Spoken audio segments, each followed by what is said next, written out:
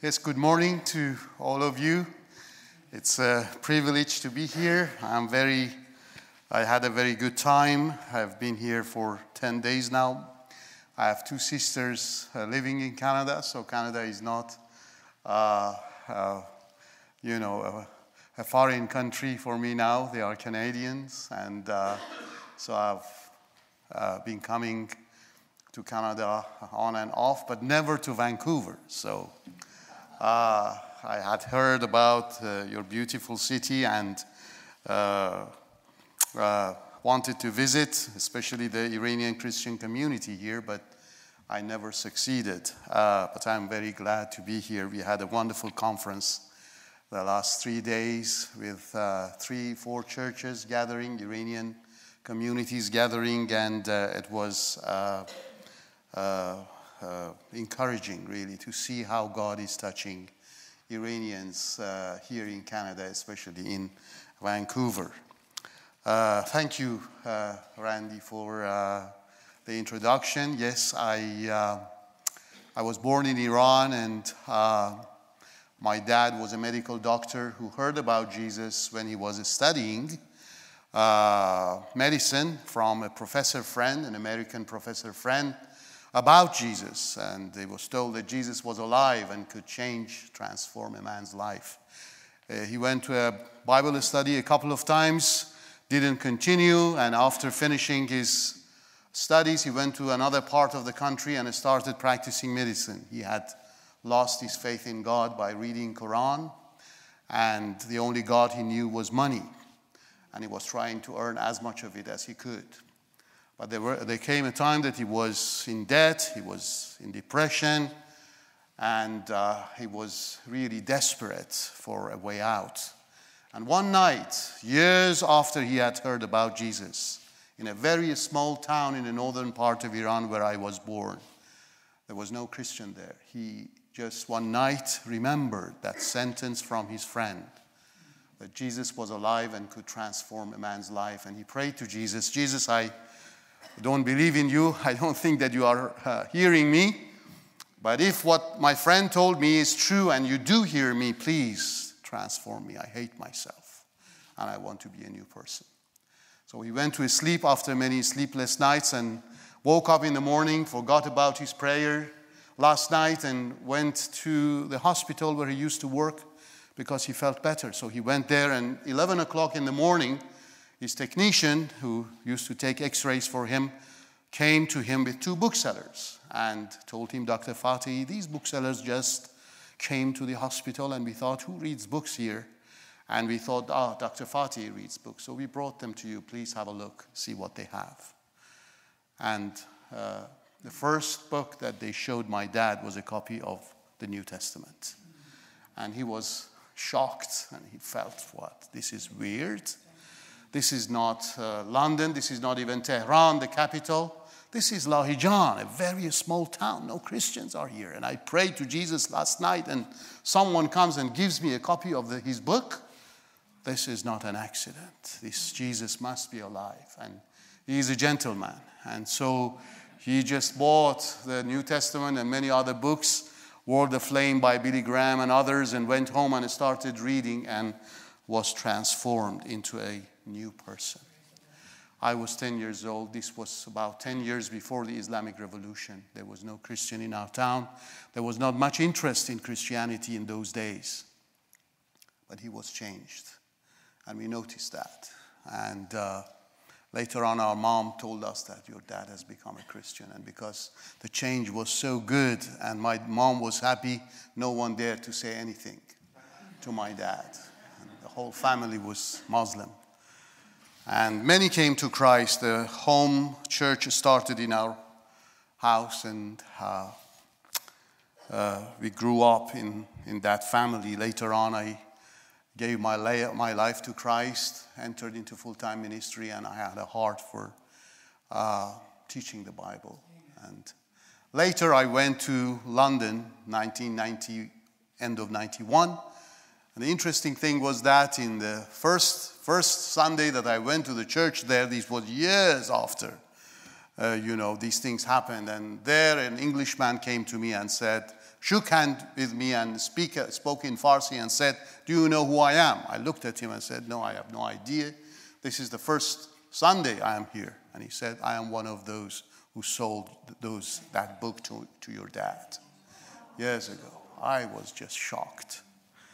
And uh, the interesting thing is that I met a brother here who knows this man, Malcolm Steer. And uh, when I came here, he said, I am a friend of Malcolm. And Malcolm Steer, one of the OM team who sold that New Testament to my dad, later he became the chairman of our college. So we, we are closely working together, and he is a co pastor with me in the Iranian Christian Fellowship. So God is doing wonderful things in Iran.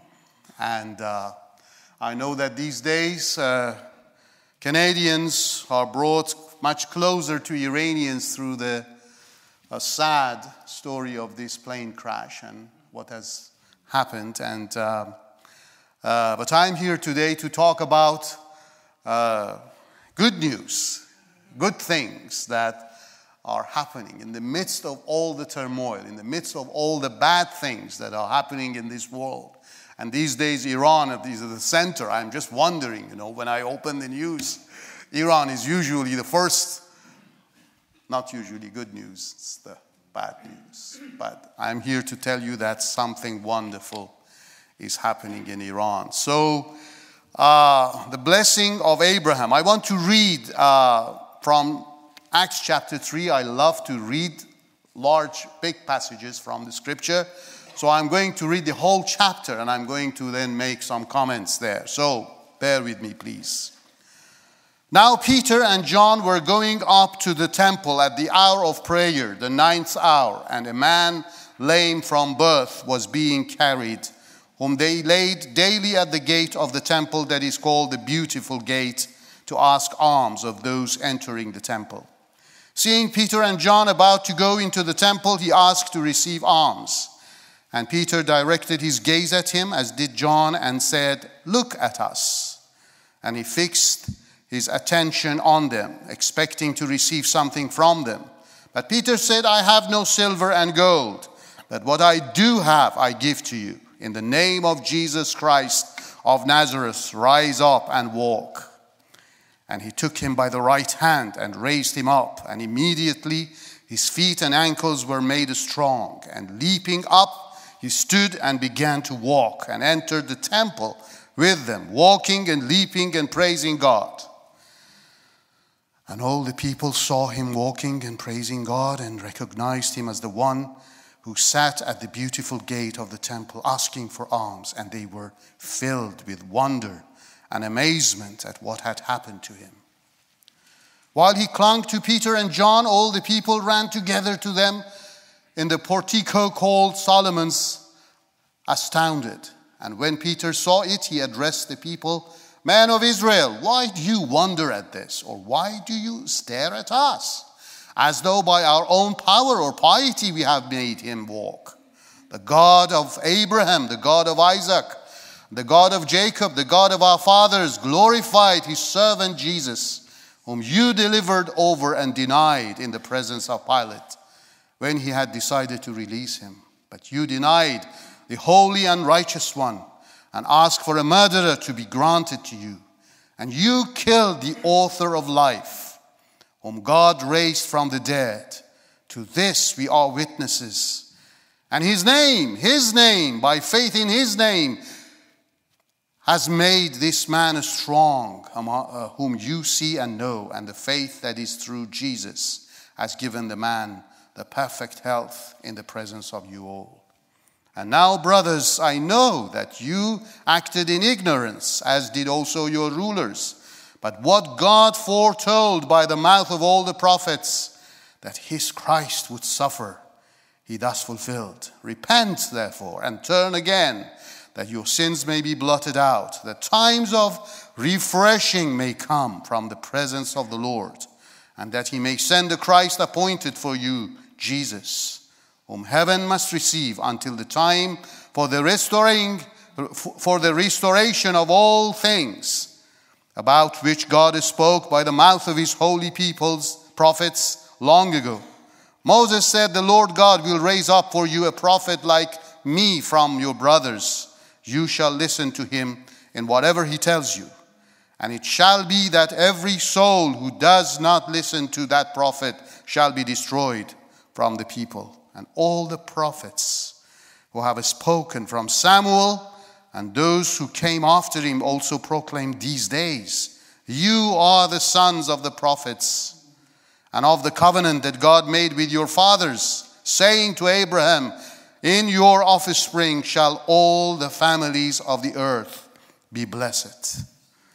God, having raised up his servant, sent him to you first to bless you by turning every one of you from your wickedness. Heavenly Father, please speak to us through your word. In Jesus' name, amen. Abraham's blessing for all the nations, and that includes Iran and beyond. I want to give you first a close shot of what we just read the healing of a lame man at the beautiful gate. When we look at the passage, you see a lame man begging by the beautiful gate, handicapped, needy, and hopeless. Not even noticed because he had become part of the decor there and excluded, excluded, especially from the worship. They were going into the temple to enjoy the presence of God. But this man, because of his infirmity, was not allowed to go in. That was a great exclusion for him. I want to use this story actually at the same time that it is about a lame man walking there, and I will explain what that meant at that time. But I want also to use it as a parable for the spiritual condition of Muslims today. And when we read this, these characteristics, in my view, is so well describes the situations of the Muslims. They are, in some ways, close to us. They, are, they know themselves as the, you know, Abrahamic uh, religions, and there, there, there are many more, you know, common grounds, much more common ground between us Christians and them if we compare it with Hindus or Buddhists or many others. So they seem to be close, but they are excluded. They are handicapped. And for long, they have not been even noticed. Peter and John's response to the situation, that is very interesting. They had been going to that place for long, you know, back for years. But this was after Pentecost. This is chapter 3, after what happened. And they react differently. They look carefully, the Bible says, carefully. They looked at him, maybe for the first time. They looked at this lame man, grabbing his attention. Look at us. Look into our eyes. An eye to eye encounter. Maybe they never did that. They just ignored him for years when they were going to pray. And just think about Muslims also, as we look at these characteristics. And they offered him what they had, the name of Jesus. He thought that he was going to get some alms from them, but they had much bigger blessing. And I think maybe here in Canada or in England, where I live, many Muslim refugees come for different things. You know, to reside in the country, to benefit from the good things that there are, receiving something, but we have a much, much greater thing to give to them. And that is the name of Jesus. That is, that is what, what they really need. So, Peter and John, this time, they had something to give, something much bigger, and they offered it to him. And not only they prayed for him, for this lame man, they stretched out their hands, took him by the right hand. And I think Muslims need that. Not only the evangelism, but the right hand to pick them up, help them walk, you know. And I'm so glad that our brother Randy, that I'm staying with, and Margot and others here are just doing that. They are not only giving the gospel to them, but they are, you know, helping them walk. And helping them go forward. A healing has happened. His feet and legs were strengthened. He jumped up, stood on his feet, and started walking. Wow. Jumped up and down and praised the Lord. And most importantly, he entered the presence of God and worshiped him with them. For the first time in his life, he didn't stay there, he went into the temple. This is the close shot. And we look closely at what has happened. Then I want to give you a wide angle connected with a bigger event that was happening, and this was part of that. The healing of the lame man was not just some, you know, specific event not connected with other things. The healing of the lame man should be seen as part of what happened at Pentecost and Easter.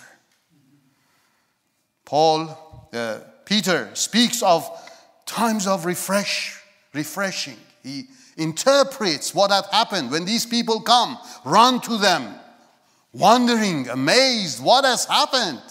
They looked at them as if they have healed this person. And he said, No, no, we have not done this. This is part of a much bigger thing that is happening. A time of refreshing, the time of strengthening of God's people, Israel, that had become weak, that had gone again into a different kind of, a deeper kind of slavery to sin. Though they, had, though they were in their own country, but they knew that they were captives still.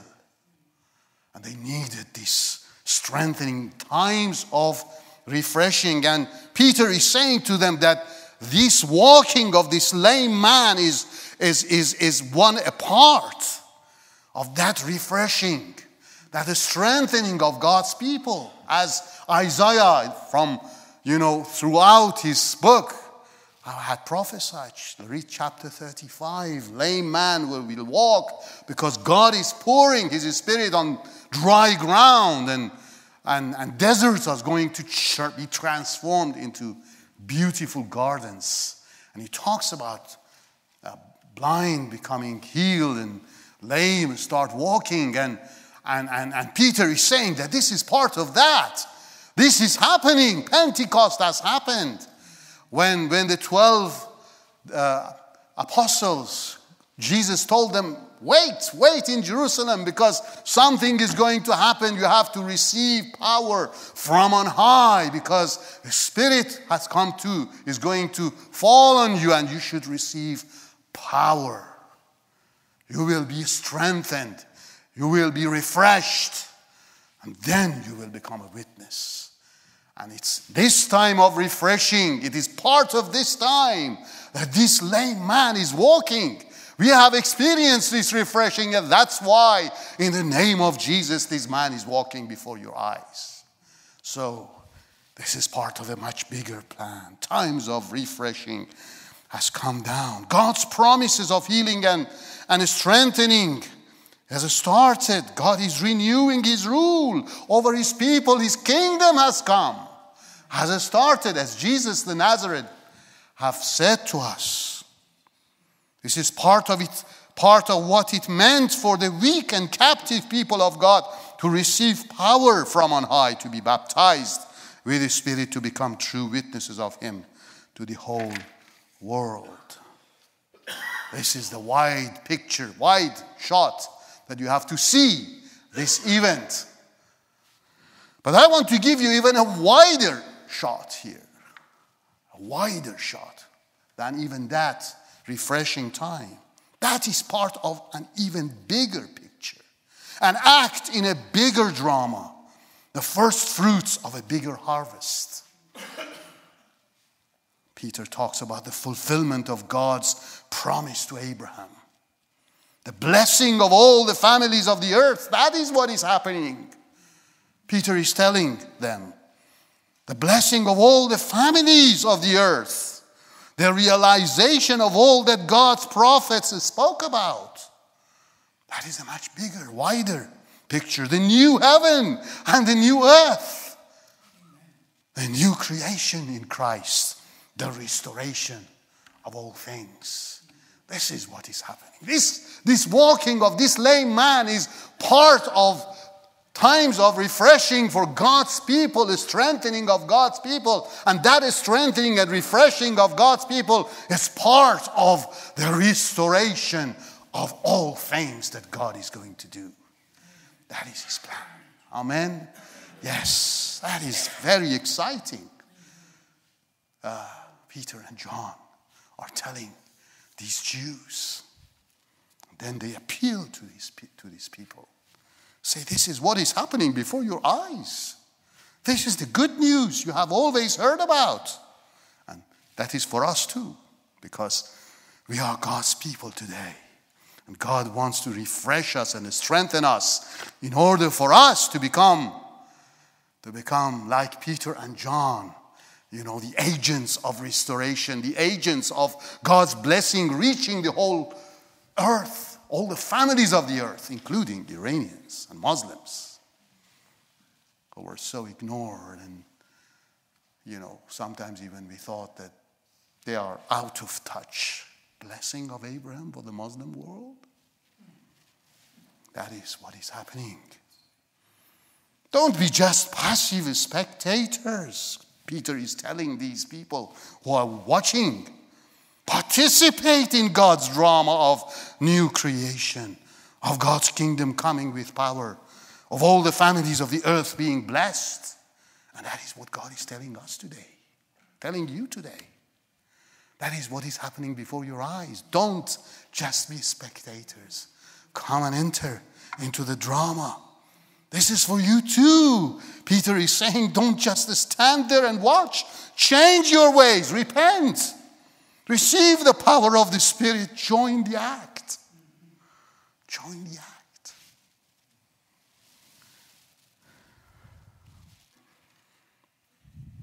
For most of the last 14 centuries, it seemed that the Muslim families of the earth were excluded from Abraham's blessing. Nothing much has happened in, the last 14 centuries. Even missionaries almost lost all hope that is it possible for Muslims to come to Christ? Is Jesus also for the Muslim world? Or are they going to resist him to the end of the days? But praise God, a new wind is blowing in the house of Islam these days. God is drawing Muslims from all over the world to faith in Jesus Christ, as David Garrison has explored in his book, uh, 2014 and wind in the house of Islam and talking about movements of God among Muslims in different places. And it seems, according to Garrison and many others, that Iran seems to be at the center of this great storm. Thousands, thousands are coming to Christ. As I heard, I saw in your leaf, small paper, Iran indeed has, is regarded by Operation World, the book published by OM, Operations Mobilization. Iran has the highest rate of church growth in the world. Look at that book. It's not, I'm not saying that.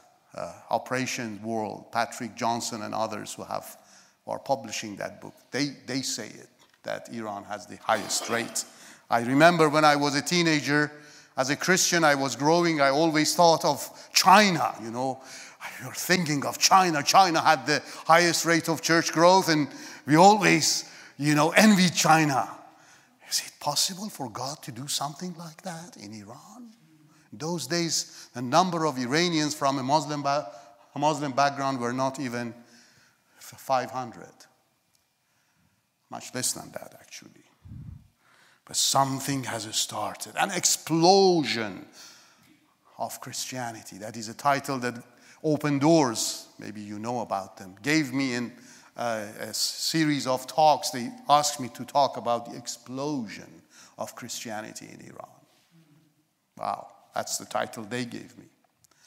that I should talk about. Thousands are coming to the Lord. What is going on? I just had a very short snapshot of a story of Christianity. Christianity is not that new to Iran. Before 1979, the Islamic revolution, the Islamic regime, we see Christianity way, be, way before. It started maybe even with the wise man from the east. Many believe they were Iranians, the three wise men, or whatever number they were. Then, in the day of Pentecost, the first three groups that are mentioned who heard Peter preach the Medes, the Parthians, and the Elamites the first three groups are Iranians. They were from Iran and they heard the message of Peter. And they, many believe that they went back to Iran and they established the church back in Iran. Iran had 110 dioceses in the six, between 6th and 8th centuries. Many Christians there. They took the gospel to China even. In the 7th century, they were known in those days as the Church of the Martyrs. Thousands and thousands of Iranians got killed at the dynasty of Sassanids, killed them. The story tells that even in one day, 100,000 were martyred. And the Church of Iran was known as the Church of the Martyrs. So Christianity is not new to Iran. It has, it has its history back. Then, of course, Islamic invasion. And I don't want to go into details of what happened, but it faded out. But there were always two Christian minorities, Armenians and Assyrians, back in Iran. But the missionary movement started 150 years ago doing a lot, but the fruit was not much. Contrary to all that people expected after 1979, when many thought that that would be the end of Christianity in Iran by the coming of the regime it was the beginning of the revival when the Islamic regime came and it started, the awakening started. Why? Why Iran became the fastest growing church, hosting the fastest growing church? Many reasons. High among them, disillusionment with Islam. When you talk to Iranians in Iran, a majority are deeply disillusioned and disappointed not only with the regime, but with Islam. Political oppression, overwhelming social problems, shaking of the foundations of morality and culture. Iran is number two in drug addiction in the world. They have 7 million people affected by drug addiction. All these contributed to Iranian searching, searching for for a new faith, searching for a true God, a different God. Martyrdoms in the 90s, many pastors were killed, and the seed and the blood of the martyrs is known to be the seed of the church. 24 7 Christian TV broadcasting is bringing the message of the gospel into the country. Thanks God, thank God for technology. No one can block it. So, and God's supernatural work. You can hardly find an Iranian who hasn't seen Jesus in a dream or vision. And so many miracles are happening. Jesus is meeting with people. And as a result, the explosion has started. Thousands of house churches are is mushrooming all over Iran. Uh, we are training leaders of underground church. And we are closely in touch with many of these networks of house churches. God is doing something wonderful there. Estimates, nobody can do an exact estimate, but estimates range between 450,000 to 3 million believers from a Muslim background. There was a survey done uh, two, three years ago on how many Iranians watch uh, Superbook. I don't know whether you know about Superbook, this cartoon that is made for children. And it's broadcast by these Christian channels for 24 hours uh, into Iran. And there was a survey done by a secular company asking people through their mobile phones whether they watch Superbook.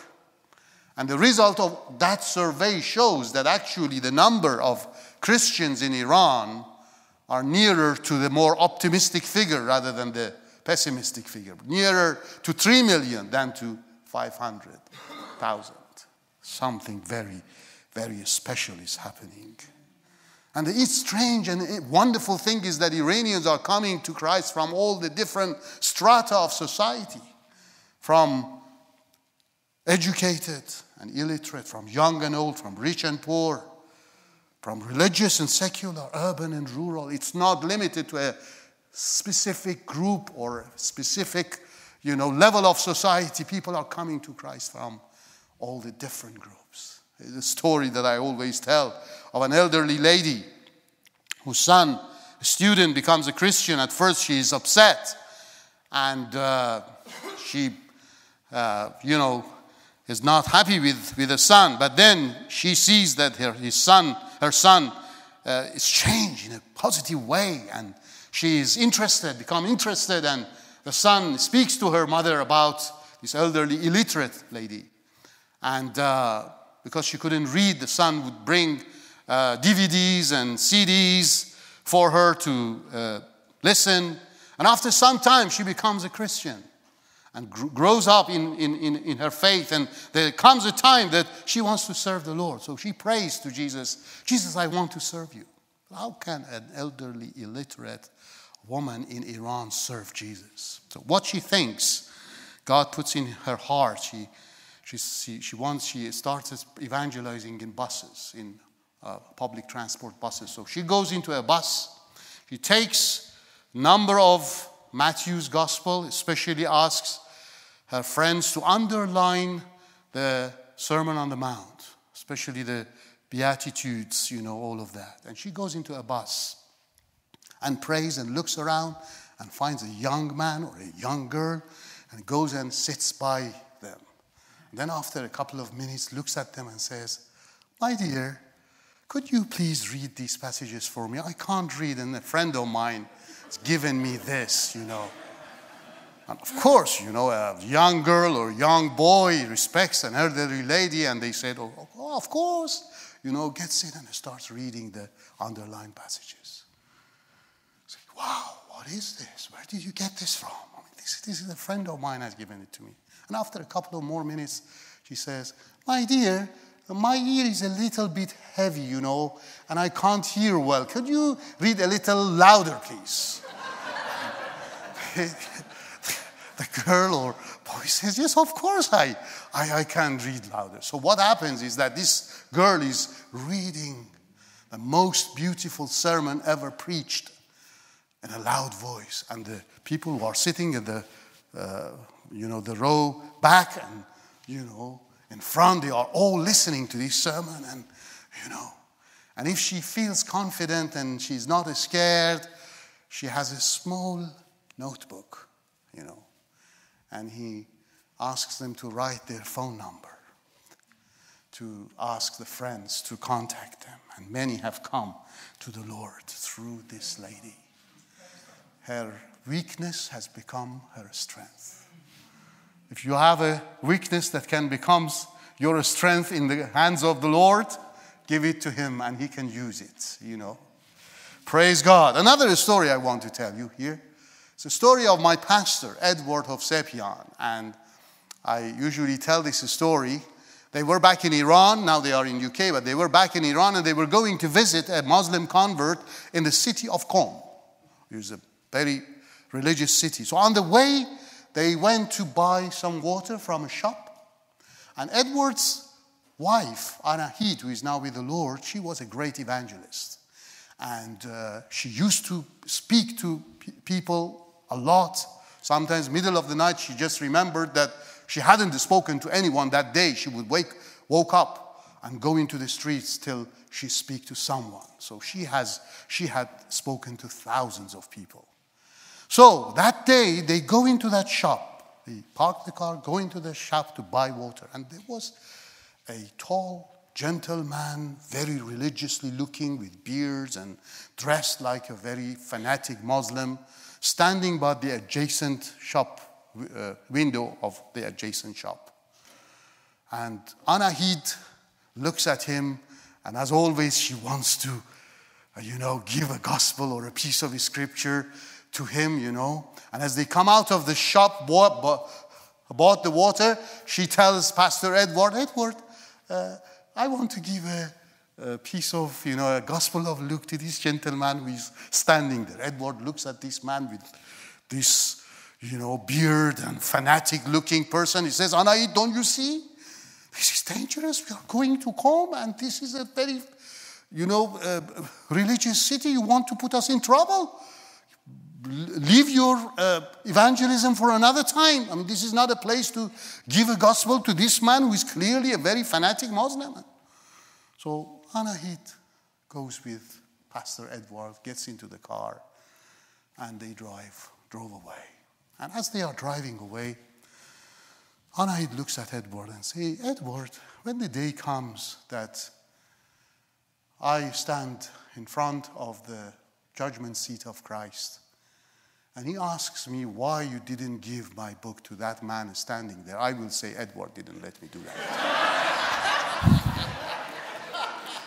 and they start arguing with one another, and Edward's conscience pricked him and I say, okay, Anahit, okay, we will turn around and go. And if he is still there, we will give that gospel to him. And they turn around and go there, and the man is still there. Anahit wants to jump out of the car and give this gospel to him. Edward says, No, Anahit, I am going to do it. You are going to put us in trouble.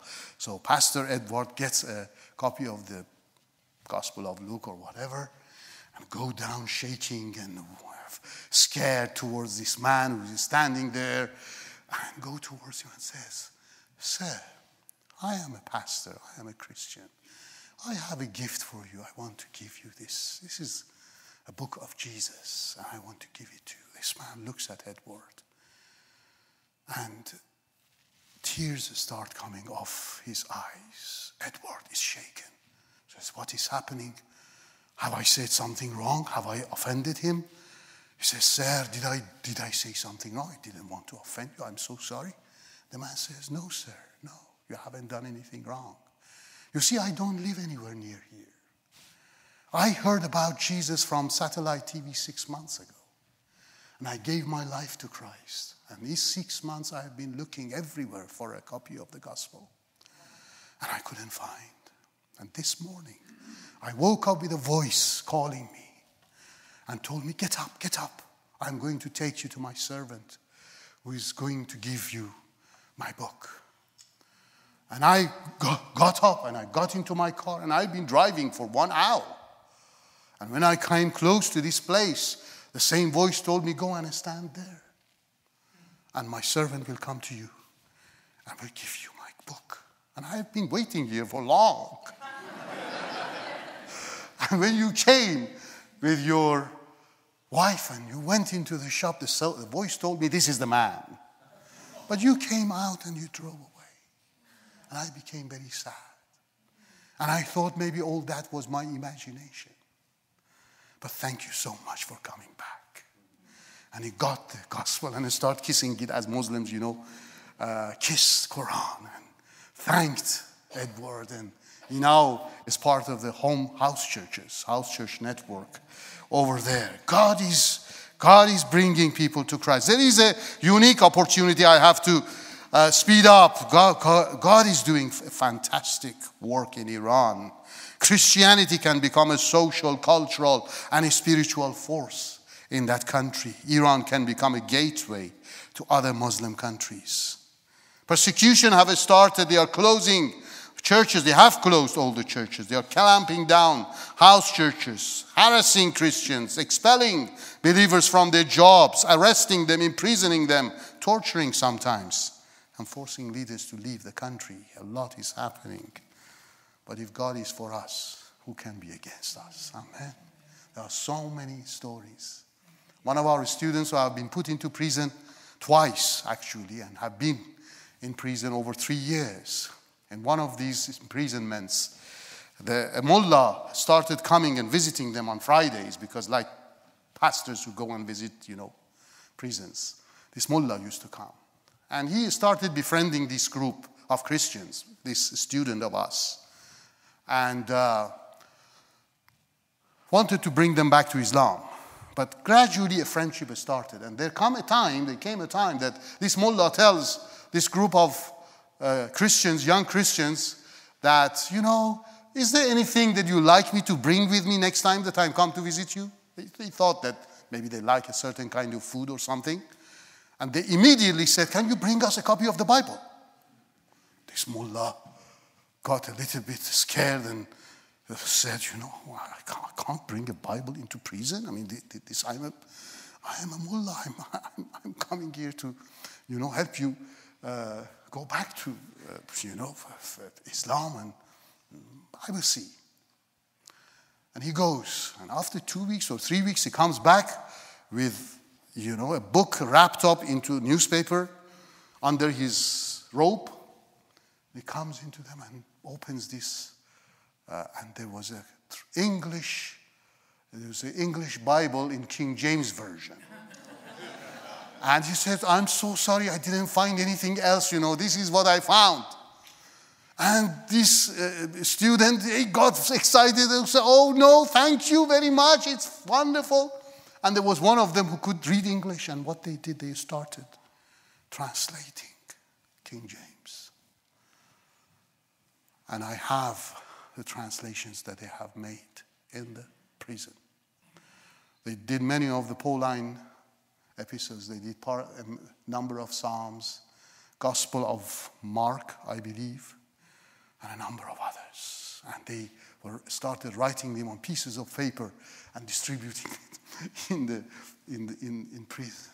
And the, this, this man now came out. He is married to an English, English, English woman and uh, serving the Lord.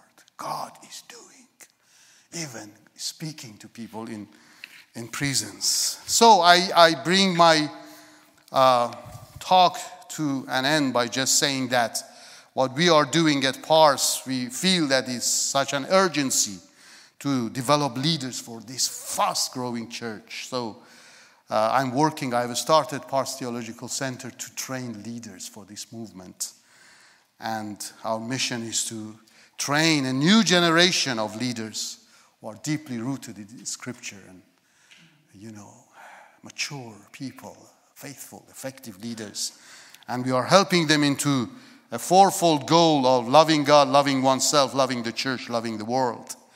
And there are, I believe, some pictures. There is our School of Theology is providing online courses, formation conferences, uh, mentoring, and ministerial practice. So combining different approaches to train these people.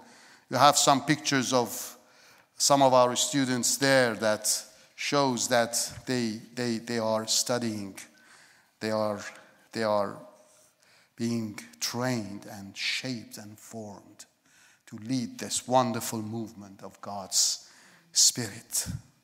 To sum it up, the lame men are walking before our eyes, before your eyes.